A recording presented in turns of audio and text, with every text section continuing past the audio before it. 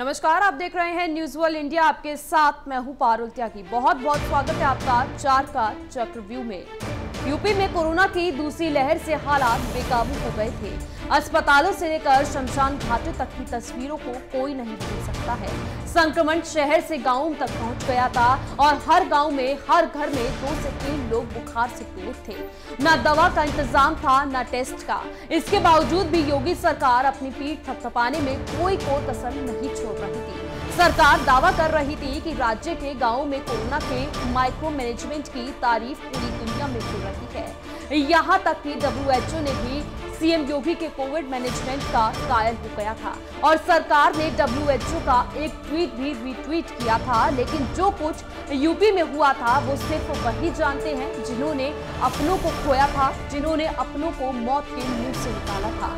लेकिन जरा सोचिए कि अगर सरकार ने कोरोना की दूसरी लहर के दौरान इतनी ही अच्छी व्यवस्था की थी तो आज वो सरकार की व्यवस्था आखिर है कहाँ? क्यों आज एक बार फिर यूपी से ऐसी ही तस्वीरें सामने आ रही हैं, जहाँ लोग भटक रहे हैं इलाज के लिए, जहाँ लोग रोते बिलकते मदद की गुहार लगा रहे हैं। क्यों आज एक बार फिर ऐसी ही तस्वीर आ रही है, जहाँ लोग शव को ले जाने के लिए भी एंबुलेंस के लिए इंतज़ार कर रहे हैं? क्यों अपने बच्चों की जान बचाने के लिए लोग आज मदद की गुहार लगा रहे हैं? ये सभी सवाल आज इसलिए किए जा रहे हैं क्योंकि सरकार ने सत्ता में आते ही स्वास्थ्य सुविधाओं को लेकर बड़े बड़े वादे तो कर दिए थे और कहा था कि अब यूपी की तस्वीर सुधरने वाली है और कहा था कि लोगों को अब यूपी में हर वो सुविधा मिलेगी जिससे लोग अभी तक वंचित थे। लेकिन आज हालात ऐसे हैं कि सभी सुविधाएँ तो छोड़िए, लोगों को तो मूलभूत सुविधाएँ ही नहीं मिल पा रही है। और ये सब आज इसलिए भी कहा जा रहा है क्योंकि ये बुखार कोई नया नहीं है। ना ही ऐसा है कि इसी साल आया हो। ये नज़ारा हर साल देखा जाता है, लेकिन फिर भी ना तो कोई तैयारी की जाती पहले से और ना ही व्यवस्था होती है। और इसीलिए हर बार लोगों को ऐसे ही भटकना पड़ता है जैसे आज वो भटक रहे हैं। दरअसल फिरोजाबाद में लगातार हो रही बच्चों की मौत के बाद शासन और प्रशासन सख्त हो गया है। लेकिन उसके बावजूद भी स्वास्थ्य विभाग की लापरवाही जो है, वो थमने का नाम नहीं ले रही है। फिरोजाबाद ज़िले में अब तक 50 से ज़्यादा बच्चों की मौत हो चुकी है और गाँव से लेकर शहर तक डेंगू और वायरल फीवर का कहर जो है, वो देखा जा रहा है। मुख्यमंत्री योगी आदित्यनाथ ने भी कुछ दिन पहले फिरोजाबाद के एक अस्पताल का दौरा किया था और सुदामा नगर में मृतकों के परिचय से मुलाकात भी की थी। फिरोजाबाद से जो तस्वीरें लगातार सामने आ रही हैं, वो बेहद ही जलाने वाली हैं, क्योंकि भले ही मुख्यमंत्री ने वहाँ का दौरा तो किया था, अस्पताल का जायजा तो लिया था, परिजनों से मृतकों के बात तो की थी, लेकिन उसके बाद भी फिरोजाबाद की तस्वीर जो है, वो बदलते हुए नज़र नहीं आ रही है। हालात जस के तस जो है, वो बने हुए हैं। फिरोजाबाद से आप देखिए हमारे संवाददाता की रिपोर्ट। इस समय मौजूद हैं फिरोजाबाद के सोसैया अस्पताल में, जहाँ ज़िले भर में इस समय डेंगू का कहर जारी है। इसको देखते हुए जो कि लखनऊ से डॉक्टरों की टीम भेजी गई है यहाँ की देखभाल करने के लिए। तो हमारे साथ डॉक्टर एस एन हमारे साथ मौजूद हैं। इनसे हम जानने की कोशिश करते हैं कि यहाँ उनके आने के बाद यहाँ किस तरीके से देखभाल की जा रही है और उनका यहाँ क्या रोल है। सर क्या नाम है आपका? Doctor S N Singh. Sir मैं जानना चाहूँगा कि आपको लखनऊ से स्पेशली भेजा गया है।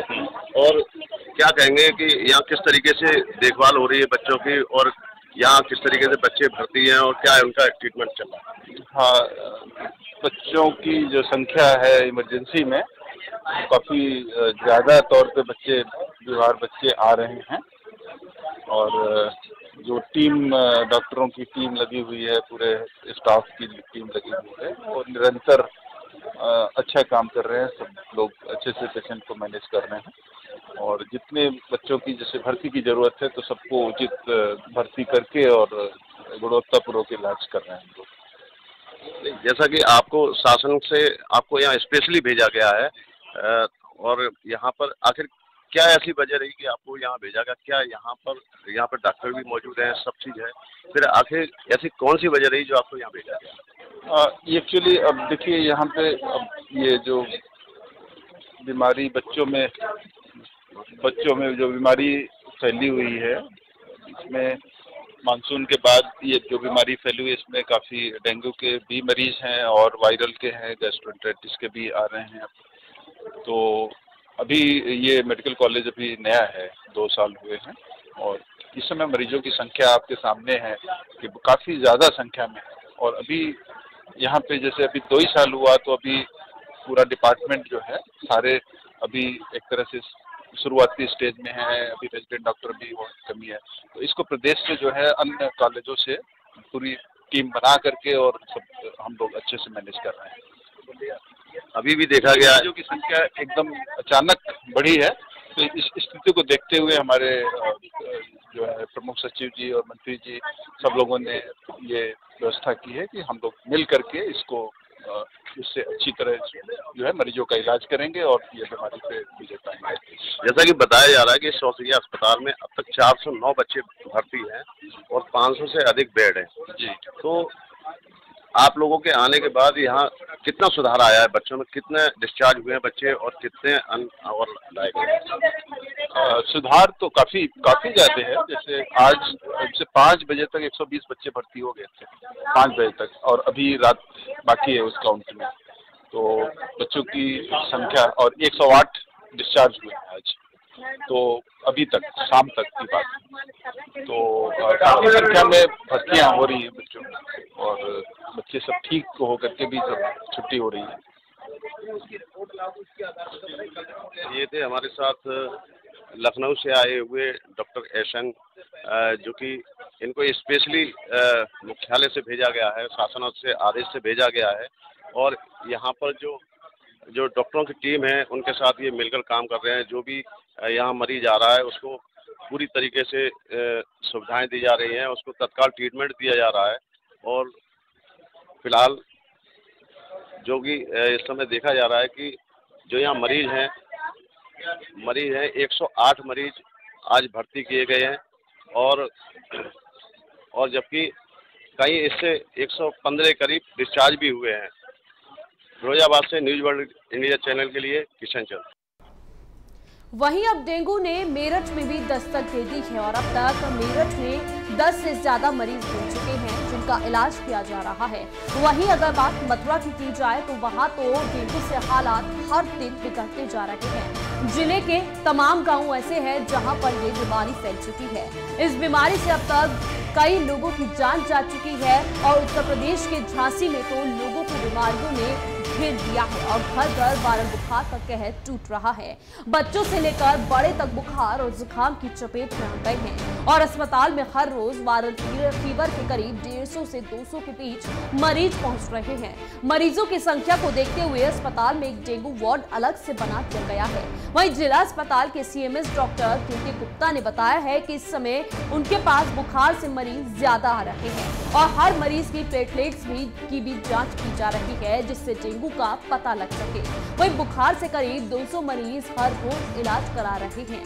ऐसे में उत्तर प्रदेश के औरैया की बात की जाए तो वहाँ हर घर में लोग बीमार हो रहे हैं, जिनमें चिकनगुनिया बीमारी जैसे लक्षण भी देखने के लिए मिल रहे हैं। वही स्वास्थ्य विभाग ने डॉक्टरों की टीम भेजकर स्वास्थ्य परीक्षण जो है, वो करा दिया है। वहीं मरीजों को दवाएँ भी दी जा रही हैं। लोगों को सलाह दी गई है कि पानी उबाल कर पिए और साफ़ सफ़ाई का विशेष तौर पर ख्याल रखें। साथ ही गाँव में डीडीटी के छिड़काव भी किए जा रहे हैं। कानपुर की बात कर ली जाए तो कानपुर में भी बुखार की वजह से पाँच लोगों की मौत हो चुकी है।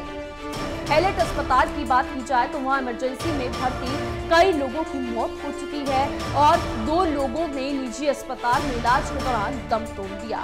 एक रिपोर्ट के अनुसार मरने वालों में सांस की नलियों में संक्रमण के साथ निमोनिया की भी शिकायत थी। वहीं सहारनपुर के लोगों को भी डेंगू से बचाव के लिए नगर निगम ने अभियान शुरू कर दिया है।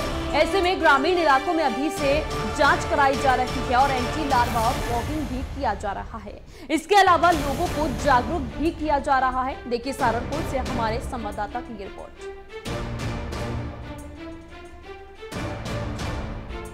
पहले कोविड को लेकर, अब मलेरिया और डेंगू को लेकर। शासन किस तरह जागरूक है, ये हम आपको आज दिखाएँगे।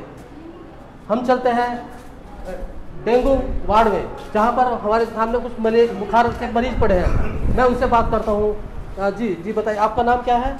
विजेंद्र। विजेंद्र जी बताइए आपके मरीज़ को क्या हुआ और कब से भर्ती है?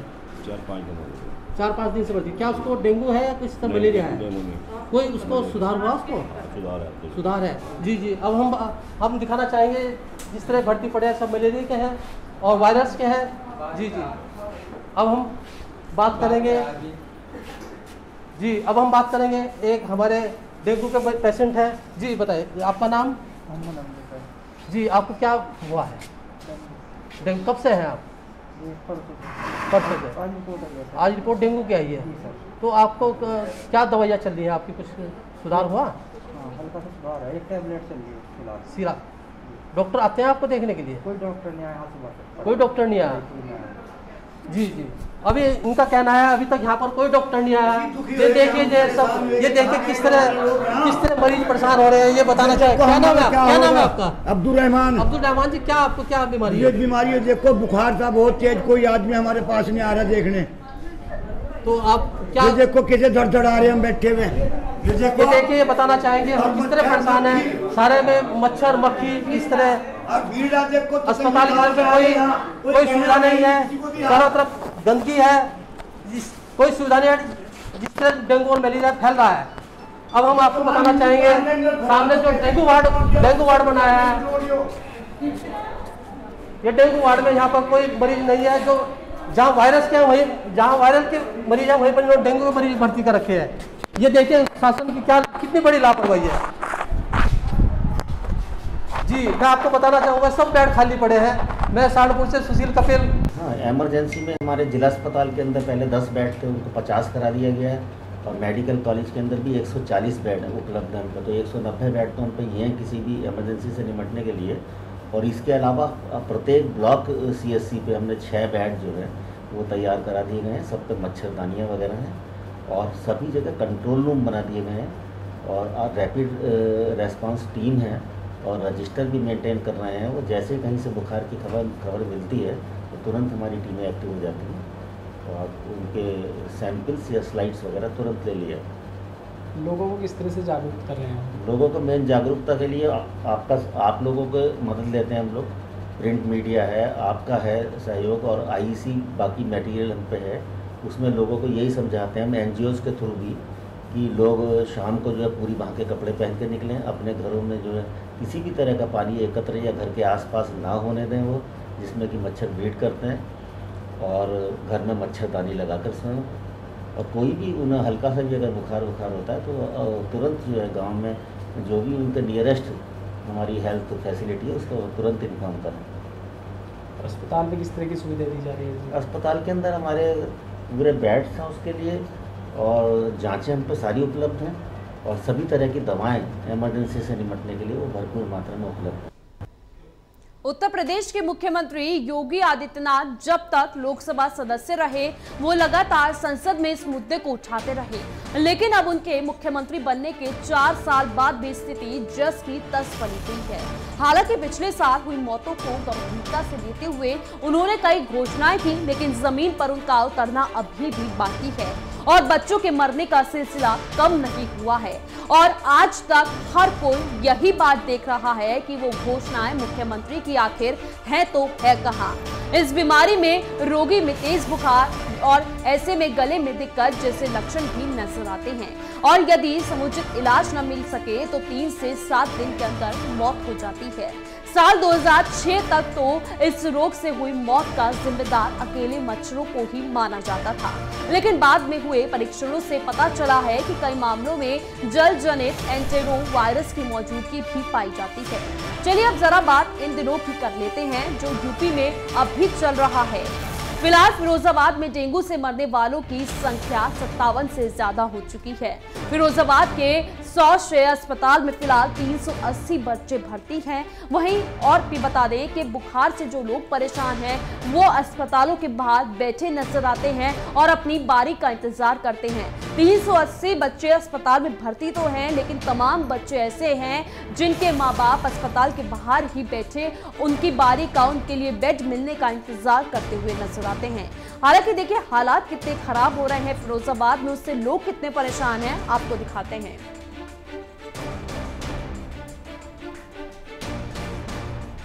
बच्चे को बुखार आ रहा था और टाइफाइड कराया था प्लेट चली गई थी इसलिए यहाँ लेके आए बारह बजे। खून टेस्ट हुआ पाँच बजे रिपोर्ट कह दी है अभी तक मिली नहीं। बच्चे की कैसी हालत है अभी तो कुछ नहीं खाता पीता कुछ है नहीं। और उसके पेट में जलन और वो क्या कहते हैं मचती है वो गैस सी बनती है उसके। बुखार वगैरह भी है क्या? हाँ बुखार है उसको। दलवाई दल- दलवाई थी गाँव से लेकिन अभी कंट्रोल है थोड़ा बुखार में। लेकिन वैसे सही नहीं पेट से कुछ खाता पीता है नहीं। मेरे बच्चे की बहुत तबीयत खराब है। आज सुबह के टाइम हाथ पैर हट गया था। ना पे लेके आए इतना पे उन्होंने एडमिट करा और रिपोर्ट खून की जाँच करी। अभी तक नहीं दी उन लोगों ने। रोड डेली कह रहे हैं अभी दे रहे हैं आधे घंटे बाद दो घंटे बाद अब छः बजे ही बोल दिया। हम परेशान हो रहे हैं बच्चों हो रहे हैं दस्त बहुत ज़्यादा हमारे कोई सुनवाई नहीं हो रही हमारी। हम बहुत पर... इस टाइम ऊपर वार्ड में है। ना उसको कोई सुनवाई हो रही हम डॉक्टर से पूछते हैं डॉक्टर हमसे मने बात कह रहा था दो घंटे बताइए एक घंटे बताइए रिपोर्ट हम इतने परेशान हो रहे हमें कोई बात संज्ञान तो लेकर चीज़ का हमारा। हम इतने परेशान है सुबह से। कहाँ से आए थे आप बच्चे को लेके? बच्चे हमने यहाँ नगला कोटी कितनी उम्र है बच्चे की? दो साल की। क्या बुखार बुखार आ गया था तीन दिन पहले उसको। आज सुबह मैं काम पे गया था, मेरे घर वाले का फ़ोन आया, हाथ पर हैंट गया था पूरा। इस बार हम यहाँ पे लेके आए मजबूरी में तो यहाँ पे अभी तक हमारा कोई कुछ नहीं हुआ अभी तक। खून की जाँच हो पाई है बात, वो भी मिल पाई नहीं अभी तक। ग्राम बारदानी से आया हूँ। सुबह से आया हूँ, खून टेस्ट कराने के लिए। मेरी लड़की है, मेरी और एक भतीजी है। उनका कोई वो नहीं है। बुखार है उनके घर में, सर में दर्द है, गोड़ों में दर्द है। बुखार जा रहा नहीं है। दवाई ले ली वही नहीं खा के जा रहा है। तो आप लोग अंदर मिले भर्ती कराने के लिए क्या कहा गया? अंदर मिले तो यूँ कह रहे शाम को रिपोर्ट आ जाएगी तब मैं देखूँगा मैं। तो सुबह आप कितने बजे करीब आए थे? मैं आया यहाँ साढ़े दस बजे।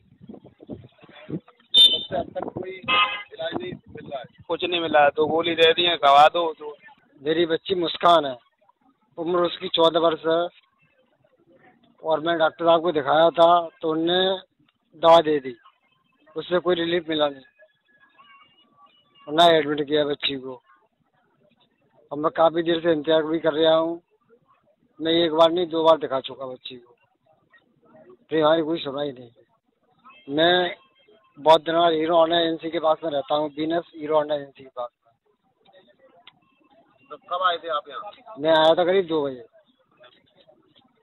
क्या कहा गया आपको बस ये देख के दवा दे दी थी कि दवा खिलाओ आराम मिल जाएगा। देखिए अब जानकारों के मुताबिक बीते कुछ सालों में दिमागी बुखार के मामलों में तो कमी ज़रूर आई है लेकिन एईएस के मामले तेज़ी के साथ बढ़े हैं और इसके लक्षण भी दिमागी बुखार जैसे ही होते हैं। इस बीमारी की सबसे बड़ी वजह गंदगी और संक्रमित जल को माना जाता है। डॉक्टरों के अनुसार इंसेफ्लाइटिस का सबसे ज़्यादा असर एक से 15 साल के बच्चों पर पड़ता है। अगर शुरुआती दिनों में ही बच्चे का इलाज शुरू हो जाता है, तब उससे बचने की संभावना ज़्यादा हो जाती है और देर होने पर बच्चे की मौत हो जाती है। यही नहीं, अगर कोई बच्चा गंभीर हालात के बाद भी बच जाता है तो वो या तो मानसिक तौर पर कमज़ोर हो जाता है या फिर शारीरिक तौर पर विकलांग हो जाता है। और ऐसे में, देखिए, उत्तर प्रदेश सरकार ने कैबिनेट में उत्तर प्रदेश ठोस अपशिष्ट नियमवारी 2021 को मंजूरी दे दी है। इसके मुताबिक, अगर गाड़ी से गंदगी करने, सड़क पर थूकने पर बड़े नगर निगम क्षेत्रों में एक हज़ार रुपए का जुर्माना भरना पड़ेगा। छोटे नगर निगम इलाकों में जुर्माने की राशि सात सौ पचास रूपए रखी गई है। इसके अलावा, सार्वजनिक स्थानों पर पालतू जानवरों को शौच कराने पर भी पाँच सौ रूपए का जुर्माना लगेगा। नए नियम को लागू करने की ज़िम्मेदारी सभी जिलों के नगर निगम को दे दी गई है। आंकड़ों के अनुसार यूपी में हर दिन करीब चौदह हज़ार से ज़्यादा मीट्रिक टन कूड़ा निकलता है, लेकिन उसका निस्तारण नहीं हो पा रहा है। इसका असर प्रदेश के स्वास्थ्य, साफ़ सफ़ाई और पर्यावरण पर पड़ रहा है। ऐसे में ये सख्ती की जा रही है। नए नियम वाली में अपेस्ट को तीन वर्गों में बांटा गया है। देखिए, सरकार का ये गंदगी फैलाने वालों पर जो नया कानून आया है, वो अच्छा है और इसकी सराहना भी करनी चाहिए। लेकिन जरा उन गाँवों, उन कस्बों और उन इलाकों को भी देखना चाहिए, जहाँ पर महीने महीने भर तक पानी भरा रहता है, जहाँ पर गंदगी का अंबार लगा रहता है। उन इलाकों का क्या, वहाँ तो शायद किसी की नज़र ही नहीं जाती है। हालाँकि देखिए अब जानकारों के मुताबिक इंसेफ्लाइटिस का अब तक कोई भी कारगर इलाज तो नहीं है। लेकिन ये बीमारी सावधानी बरत कर काफ़ी हद तक रोकी जा सकती है। ऐसे में इस बीमारी की मृत्यु दर सबसे ज़्यादा 35 फ़ीसद है और डॉक्टरों की सलाह के, की प्राथमिकता ये होनी चाहिए कि ज़्यादा से ज़्यादा सावधानी बरती जाए। वही देखिए, कोरोना की दूसरी लहर के दौरान अस्पतालों में बिस्तर, ऑक्सीजन और दवाओं की कमी के चलते हाहाकार मच गया था। सबसे ज़्यादा महामारी ऑक्सीजन को लेकर हुई थी। इस दौरान ऑक्सीजन आपूर्ति न कर पाने को लेकर केंद्र और राज्य सरकारों पर सवाल भी उठे थे। इससे सबक लेते हुए कोरोना की तीसरी लहर की तैयारियों के तहत ऑक्सीजन प्लांट लगाने के कामों में भी तेज़ी लाई गई। उत्तर प्रदेश के आठ जिलों की बात की जाए तो अगर कोरोना की तीसरी लहर वहाँ पर आती है तो क्या उत्तर प्रदेश ऑक्सीजन सप्लाई करने में सक्षम होगा? ये सवाल जो है, वो काफ़ी बड़ा है और ऐसे में पड़ताल में पाया है कि आठ जिलों में से सिर्फ़ गोरखपुर ही ऐसा जिला है जहाँ पर ऑक्सीजन प्लांट की तैयारियाँ पूरी हो चुकी हैं।